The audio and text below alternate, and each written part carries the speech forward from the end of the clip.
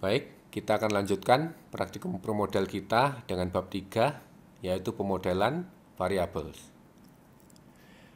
Tujuan belajarnya adalah yang pertama agar Anda mampu memodelkan variabel sebagai alat bantu monitoring proses simulasi yang sedang berjalan.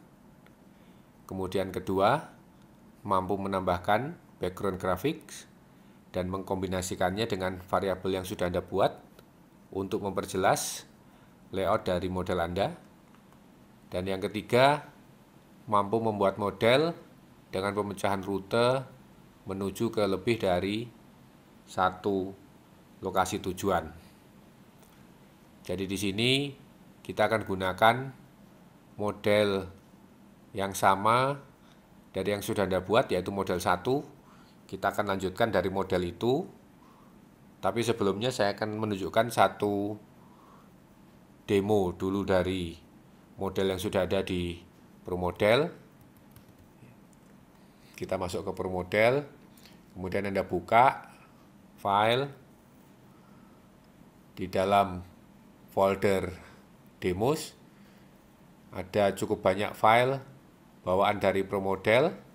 Anda pilih yang ini manufacturing cost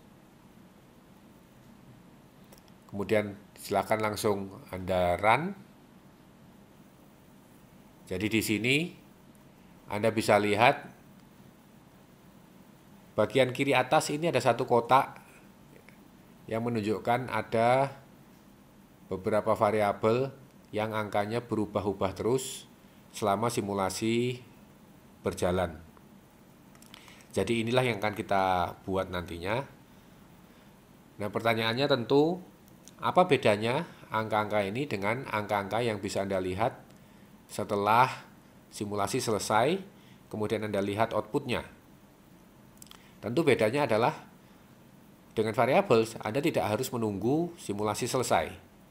Jadi selama simulasi berjalan, Anda bisa memantau perubahan dari variabel-variabel penting bagi sistem Anda ini. Jadi itu adalah beda yang utama. Kemudian saya juga ingin menunjukkan bagian yang lain yaitu kotak kuning dengan teks yang berisi keterangan model ini menjelaskan apa.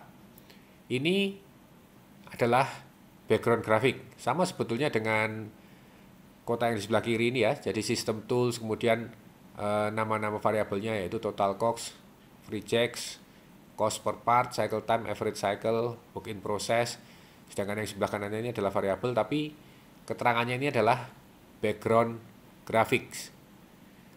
Jadi ini bisa ditempelkan di dalam layout sehingga yang memperhatikan model ini bisa mengetahui simulasi ini tentang apa. Ada kemiripan dengan model notes, hanya bedanya model notes hanya tampil di awal, tapi setelah itu jika Anda close, maka tidak akan tampil lagi selama simulasi berjalan. Tentu Anda pilih yang paling cocok bagi model Anda, apakah Anda ingin tampilkan selama simulasi atau cukup di awal. Kalau Anda rasa jika ditampilkan seperti ini mengganggu layout, mengganggu tampilan layout, maka tentu Anda lebih baik menggunakan model notes.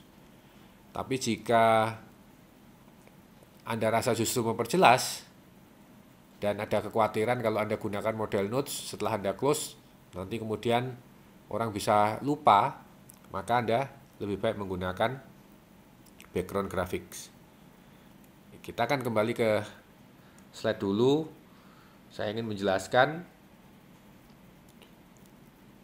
beberapa contoh perintah yang akan kita tulis di processing nanti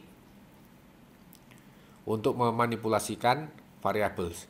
Jadi satu, satu poin penting yang perlu diingat di sini adalah variabel tidak bisa berubah sendiri jika tidak Anda ubah melalui beberapa statement berikut ini. Ya, statement yang utama adalah INC DEC. Ya, jadi INC itu artinya increment atau penambahan. Sedangkan ini WIP ini adalah nama variabelnya. Kemudian koma, spasi 4 ini berarti nilai variabel WIP setiap kali perintah ini dieksekusi akan bertambah sebanyak 4.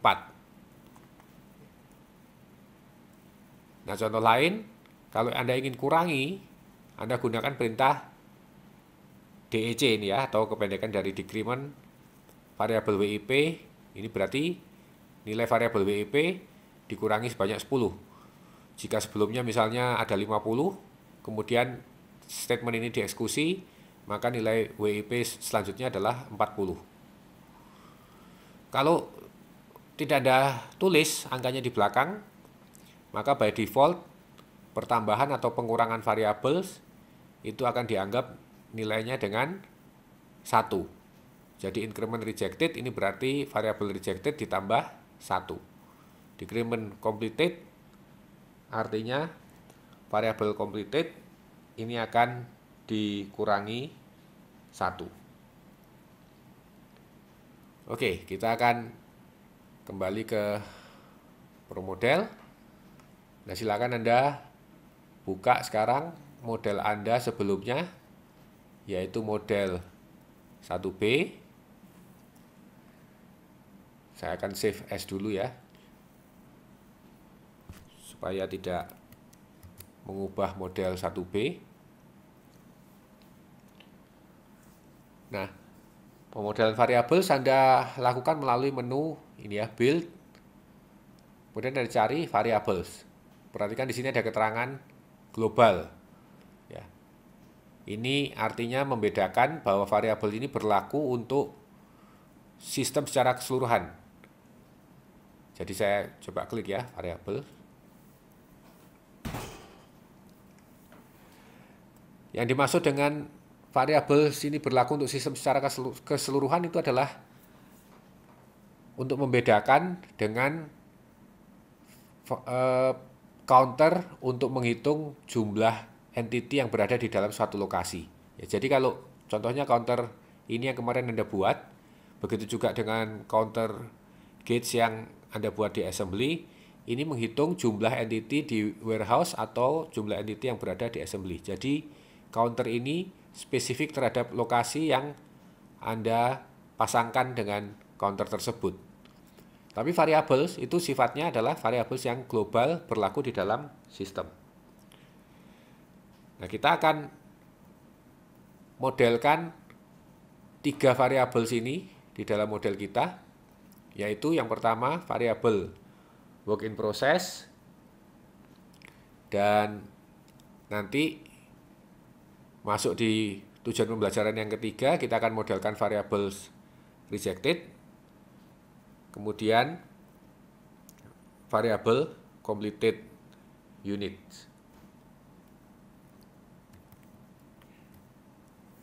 Jadi Anda bisa langsung klik di dalam layout Anda. Contohnya saya klik di sini. Maka Anda sudah mendapat satu variabel yang bisa digunakan di dalam simulasi. Namanya kemudian Anda bisa ganti di sini ya. Saya ganti dengan WIP. Nah, Anda bisa juga sebetulnya mengisi variabel pada variabel editor di atas ini. Jadi misalkan rejected tadi Anda tambahkan langsung di sini. Kemudian Anda enter untuk menambahkan variabel yang lain. Tapi Anda perhatikan di sini variable rejected ikonnya no. Artinya variabel ini ada di dalam sistem tapi tidak Anda tampilkan di layout. Beda dengan WIP yang tadi Anda klik di layout. Kalau Anda ingin menampilkan variabel rejected di layout, maka Anda lanjutkan dengan cara yang sama ya, Anda klik di layout sehingga Anda mendapatkan variabel rejected ya. Tambahkan satu lagi.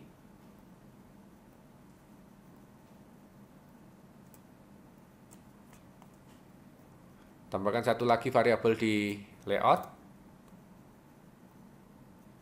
Ini nanti menjadi variabel completed. Namanya kita ubah.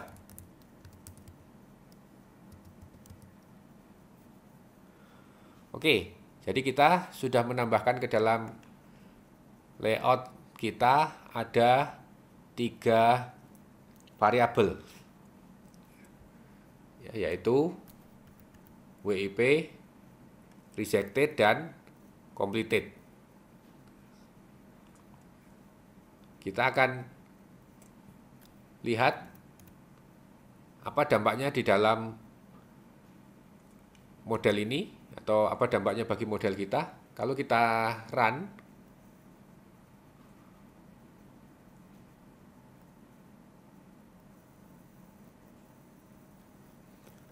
masih tidak ada dampak apa-apa. Artinya variabel ini tidak berubah seperti contoh pada demo tadi. Mengapa? Karena kita belum melakukan manipulasi nilai variabel ini dengan perintah INC DEC tadi ya, increment dan decrement. Jadi perintah itu harus kita tambahkan. Tempat menambahnya ada dua kemungkinan. Bisa kita tambah di bagian operation, di processing, atau di bagian move logic, di window routing. Semuanya ini ada di processing. Jadi untuk menambah perintah increment decrement tadi anda tambahkan di build processing.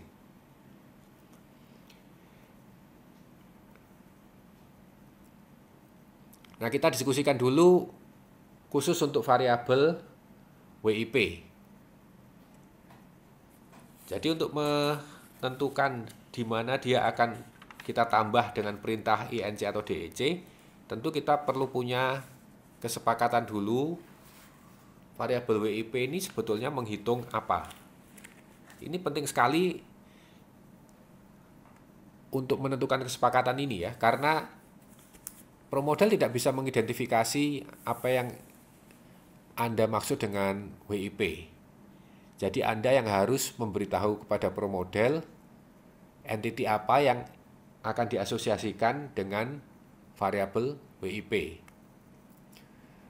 Jadi mungkin proses atau mungkin progres ini maunya adalah menghitung jumlah part yang ada di dalam sistem di tengah proses. Jadi bukan di awal atau di akhir. Sehingga kalau kita perhatikan atau kita ingat entity yang pernah kita buat yaitu raw material apakah ini WIP ataukah WIP itu sama dengan piece atau sama dengan batch atau sama dengan finish goods. Yang mana yang akan Anda anggap sebagai WIP? Jadi dari pemahaman Anda sendiri itu yang harus Anda buat di dalam promodel untuk menambah atau mengurangi nilai dari variabel ini. Tentunya kalau raw material dan finish goods tidak cocok untuk disebut sebagai WIP. Jadi dua entity ini kita keluarkan dari kemungkinan untuk dikategorikan sebagai WIP. Tapi masih ada dua pilihan. Apakah piece yang akan Anda sebut sebagai WIP atau batch yang akan Anda sebut sebagai WIP.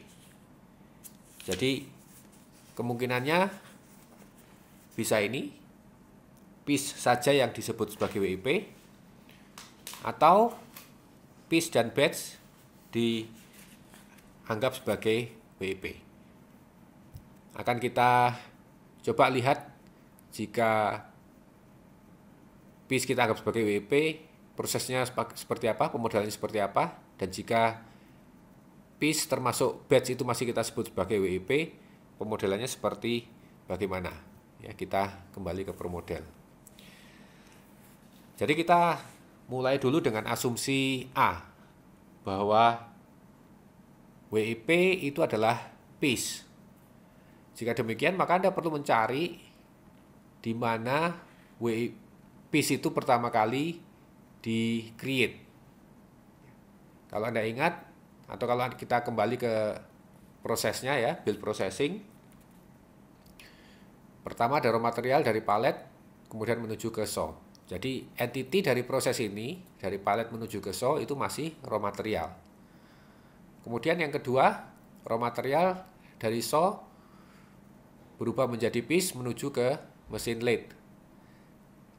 Nah, di sinilah pertama kali piece itu muncul di dalam sistem. Sehingga untuk menambahkan nilai variabel WIP Anda tambahkan di sini. Pertanyaannya sekarang Anda tambah di operation atau Anda tambah di move logic. Jadi untuk contoh ini yang betul adalah Anda tambah di operation.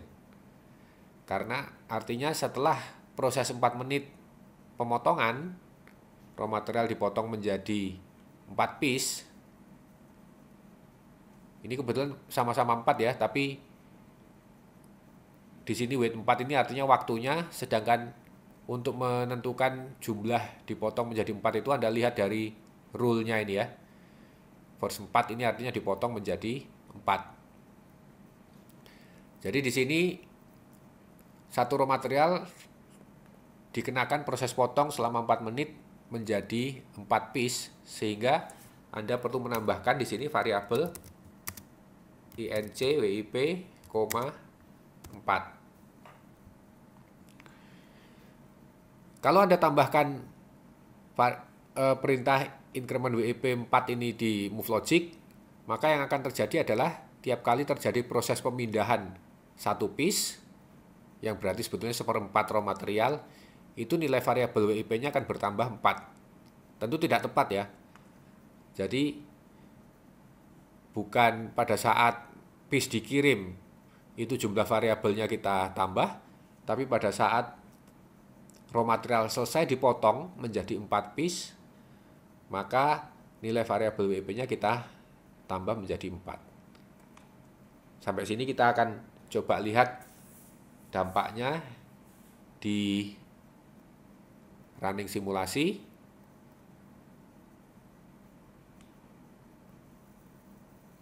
Nah, Anda lihat variabel WP naik terus 4 demi 4 ya. Tiap kali ada selesai proses pemotongan satu raw material menjadi 4 piece maka nilai variabel WIP ini bertambah menjadi 4 atau naik tiap kelipatan 4 ya oke Nah, tapi sebetulnya yang disebut dengan variabel WIP itu adalah barang setengah jadi. Tentu tidak mungkin dia akan naik terus nilainya. Ada saat di mana dia hilang dari sistem atau berkurang dari sistem. Pada saat itu Anda harus mengurangi nilai variabel WIP. Pertanyaannya adalah di proses mana PIS itu berkurang atau berubah menjadi entity yang lain. Itu yang Anda harus cari di dalam processing. Ya. Kalau kita gunakan asumsi yang pertama bahwa yang disebut WIP itu adalah piece dan batch tidak Anda anggap sebagai WIP, maka kita tinggal cari ya. Ini delete piece keluar menjadi piece, di mill piece keluar menjadi piece, kemudian di assembly piece berubah menjadi batch. Ini terjadi setelah ada proses combine. Jadi setelah 10 piece dikombine menjadi satu batch, maka yang terjadi adalah piece berkurang 10, tapi ada satu batch yang dihasilkan. Jadi untuk mengurangi jumlah piece sebanyak 10 setelah proses ini kita isikan perintah ini. Dec WIP 10 ya decrement variabel WIP 10 kita coba running lagi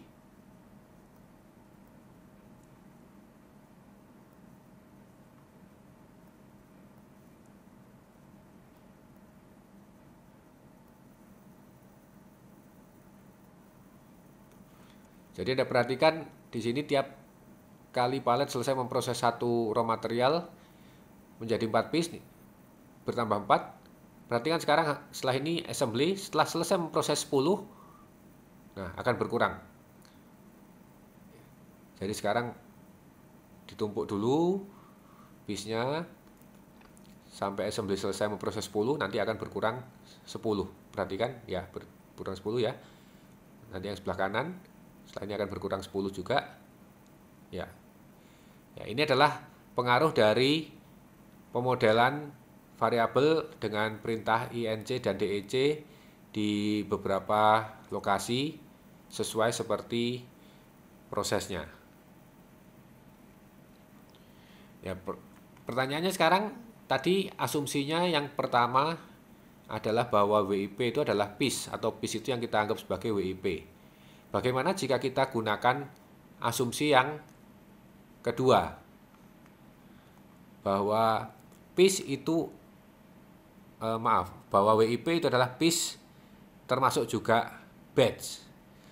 Artinya kalau PIS itu masih atau kalau PIS itu berubah menjadi batch itu masih kita anggap sebagai WIP, maka kita tidak ingin mengurangi nilai variabel WIP. Baru nanti jika batch itu sudah menjadi satu finish goods, variabel WIP-nya akan berkurang.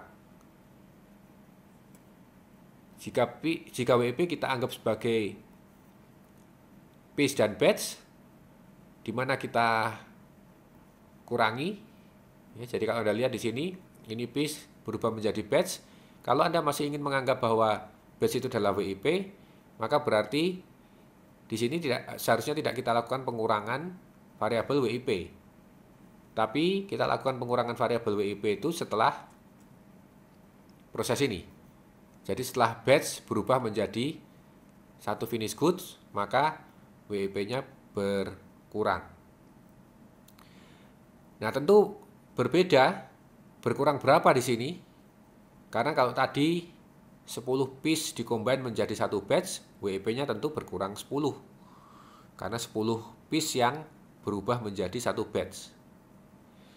Jika yang Anda anggap WIP itu adalah batch, maka tiap berubah dari batch menjadi finish good, jangan lupa di sini yang dikombin adalah 5 batch Sedangkan satu batch itu berisi 10 piece. Jadi WP kalau kita ikut satuan dari saat dia pertama kali dibuat yaitu piece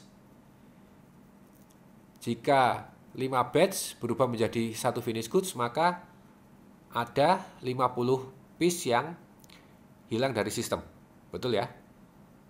50 dari mana? karena ada 5 batch dikombin menjadi satu finish good sedangkan satu batch terdiri dari 10 piece.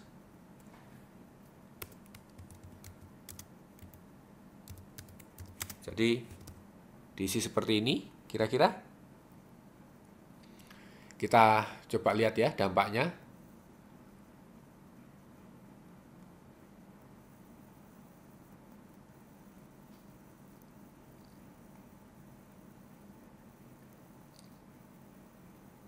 Nah, sekarang Anda lihat, kok bisa minus? Padahal yang namanya WIP itu adalah jumlah barang. Tapi jumlah barang di dalam sistem, mengapa bisa sampai nilainya negatif? Coba Anda pause video ini, kemudian Anda coba pikirkan dan coba cari kira-kira salahnya ada di mana. Ya.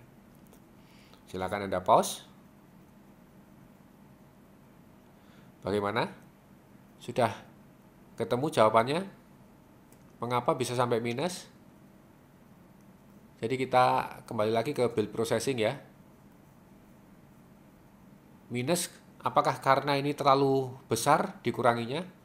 Apakah salah tadi kita menghitung bahwa di warehouse ini ada proses combine 5 batch menjadi satu finish goods. Satu batch itu isinya adalah 10 piece. Berarti satu finish good isinya 50 piece. Sehingga apabila kita isikan dengan perintah dec WIP 50 sebetulnya tidak salah. Karena berarti tiap kali satu finish good dihasilkan ada 50 piece yang berkurang dari sistem. Ingat ya, kita harus menghitungnya berdasarkan piece.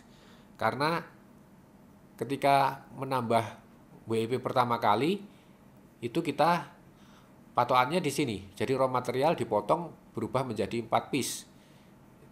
Jadi tiap satu raw material berubah menjadi 4 piece. Satuannya adalah piece. Satuan WIP adalah piece. Sehingga di sini satu finish goods terdiri dari 50 piece. Betul, kita nguranginya harus 50. Kalau dikurangi 10 justru salah. Dikurangi 5 juga salah. Karena Anda tidak mengurangi sebanyak jumlah piece-nya. Yang menyebabkan minus adalah karena ini ada double counting. Tadi yang sebelumnya di assembly belum ada hapus. Nah, ini yang bikin masalah. Jadi ibaratnya di dalam proses bendanya berkurang 10 tapi di pembukuannya Anda kurangi 60. Ya, maka tentu yang ditampilkan oleh variabel WIP ini adalah apa yang ada di pembukuan Anda. Ya. Jadi saya sengaja membuat ini dengan kondisi salah seperti ini untuk memberi penekanan bahwa modeling variables itu akurasinya sepenuhnya ada di tangan pembuat model. Itu yang harus Anda betul-betul perhatikan. Jadi jika Anda memodelkan variabel WIP-nya salah, maka apa yang akan ditampilkan di sini juga salah. Promodel tidak bisa mendeteksi itu karena itu bukan kesalahan bukan kesalahan model dalam arti struktur mengalirnya material. Misalnya kalau kemarin Anda ada kesalahan-kesalahan karena tidak nyambung, misalnya dari raw material dari palet menuju ke so, entitinya berubah menjadi piece, tapi nanti yang menuju ke lead misalnya uh, ini ya raw material dari palet menuju uh, raw material kemudian raw material so ini outputnya piece kemudian anda lanjutkan dengan piece nah seandainya ini nama entitinya tidak sama, ya, entity di lokasi tujuan dengan entity di proses sebelumnya, promodel bisa mendeteksi itu sebagai kesalahan dan memberikan warning pada Anda bahwa modelnya ada yang perlu diperbaiki. Atau kemarin apabila misalnya combine ya, combine 10 tapi kapasitas lokasi hanya satu, maka ProModel bisa mendeteksi itu. Tapi kesalahan seperti ini tadi, di mana nilainya bisa sampai negatif, itu ProModel tidak bisa mendeteksi karena itu tidak berpengaruh kepada running dari simulasi. Itu hanya berpengaruh pada pembukuan Anda. Ya, tentu visualisasi Anda juga akan terdampak. Visualisasi variabel yang Anda buat juga akan terdampak. Jadi ini perlu diingat baik-baik jangan sampai memodelkan variabel salah ya karena apabila terjadi kesalahan maka kesalahan itu adalah dari Anda sendiri. Oke. Kita akan ubah sekarang variabel yang ketiga yaitu variabel finish goods.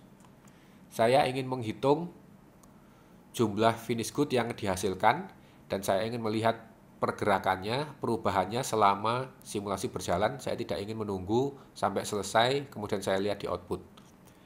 Bagaimana caranya? Dengan perintah-perintah yang sudah kita pelajari sebelumnya. Silahkan Anda pause lagi, Anda coba, kemudian Anda running, betulkah yang Anda buat? Ya, jadi saya ulang lagi, saya ingin menambahkan variabel completed ya jika ada satu finish good yang sudah selesai dihasilkan. Jadi tiap ada satu finish good selesai dihasilkan, saya ingin menambah variabel yang ketiga yaitu variabel completed di sini. Bagaimana caranya? Jadi satuan variabelnya adalah finish good. Silakan Anda buat, mungkin satu atau dua menit sambil Anda pause video ini. Setelah itu Anda bisa lanjutkan kembali. Oke, bagaimana? Anda sudah pause? Anda tambahkan di mana? Yang betul Anda tambahkan di sini ya, proses yang terakhir ya. Karena hubungannya dengan finish good, maka tiap satu finish good dihasilkan, Anda tambahkan variabel completed. Anda bisa tulis itu di sini. ENC completed ya. Atau Anda bisa juga tulis di move logic. Tapi ingat ya, tidak kedua-duanya. Jangan Anda tulis di dua tempat. Nah, ini karena ada satu finish good exit, jadi Anda tambah variabel completed. Perlukah perintah decrement DEC? Tidak perlu ya, karena untuk variabel completed ini memonitor jumlah produk jadi, jadi dia bisa bertambah terus. Sementara WIP tadi bertambah dan berkurang. Bertambah ketika dibuat, berkurang ketika meninggalkan sistem. Oke, kita coba running.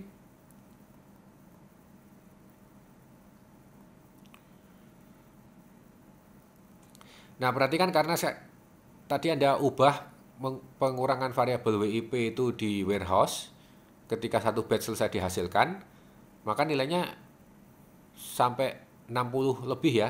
Tapi setelah itu berkurang sebanyak 50 dan perhatikan sekarang sudah ada satu finish good yang dihasilkan. Ya, ini sementara ada tiga batch. Nanti kalau ada 5 batch ini akan bertambah ya. 3 4 ya. 5. Nah, menjadi dua finish good sekarang. Batchnya di warehouse kosong.